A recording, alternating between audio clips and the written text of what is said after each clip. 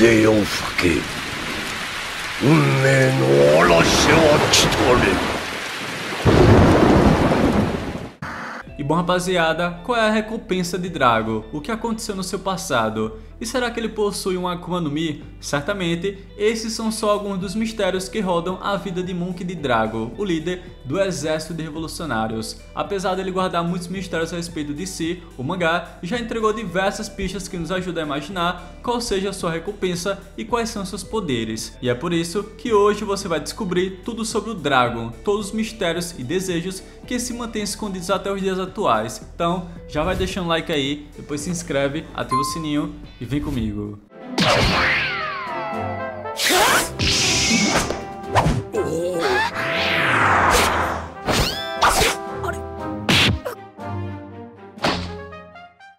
E bom rapaziada, para iniciar, vamos falar sobre os poderes de Drago e falar sobre a possível Akuma no Mi que ele tem sobre seu domínio. Pois bem, em relação ao manejo de hack, é evidente que o Drago deve saber utilizar tanto o hack do armamento como da observação. Já o hack do rei, é bem provável que o Drago também seja capaz de utilizá-lo, afinal, é, tanto seu pai como seu filho são capazes de utilizar o hack do rei. Logo, chegamos à conclusão de que Drago também pode utilizar dessa técnica. Já em relação ao poder de um Akuma no Mi, nunca nos foi mencionado alguma coisa a respeito disso. Porém, com base nos eventos de Logtal, podemos ter uma ideia a respeito dos poderes de Drago. Até porque só foi lá aparecer naquela ilha que fortes raios e chuvas surgiram instantaneamente. Tanto é que ela apareceu justamente na hora em que Onrei impediu que Bug matasse seu filho Luffy. Sendo assim, a gente pode supor que Drago tem algum poder ligado ao clima, podendo ser a fruta da chuva ou talvez a fruta do clima, onde ele seja capaz de alterar o clima da forma que bem entender, seja é, deixando o dia ensolarado com chuva ou com tempestades.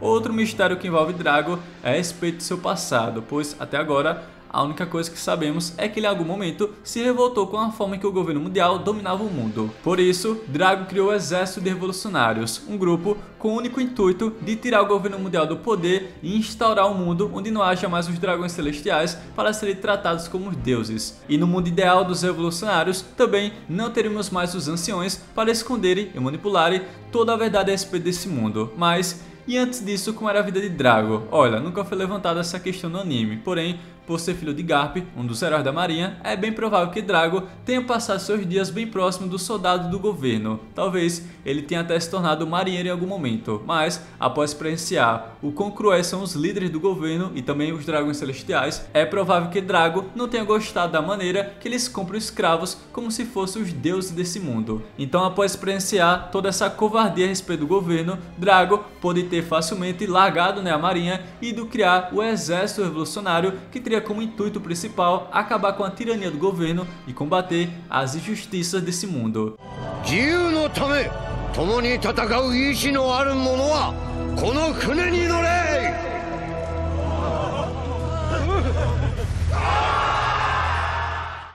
E se tem uma coisa que os fãs estão loucos para saber é a respeito da recompensa de Drago, pois já foi mostrado a recompensa de Gold Roger, Barra Branca, Kaido, Big Mom e muitos outros. Só não foi mostrado a recompensa de Drago por algum motivo. E para o valor da sua cabeça, eu acredito que seja uma das mais altas de todas, pois Drago carrega consigo o nome de maior criminoso do mundo. Então, por ser o maior criminoso, será que Drago poderia ter uma recompensa ainda maior que a de Roger? Olha, para ser sincero, é muito difícil imaginar alguém superando a recompensa de Gold Roger, pois o antigo rei dos piratas deve manter esse posto de pirata mais forte que já existiu, por isso não faria muito sentido o Drago ter uma recompensa maior que a dele para tomar o título de criminoso mais forte do mundo. No entanto, Apesar de achar que Drago não supera a recompensa de 5 bilhões e meio de Roger, eu acho que o líder dos revolucionários possui uma recompensa viva de One Piece. Anteriormente, Barra Branca era o homem com a maior recompensa viva, sendo essa de 5 bilhões e 46 milhões. Portanto, por crer que Drago tem a recompensa maior dentre os piratas, lembrando que ele não é um pirata, mas é um criminoso,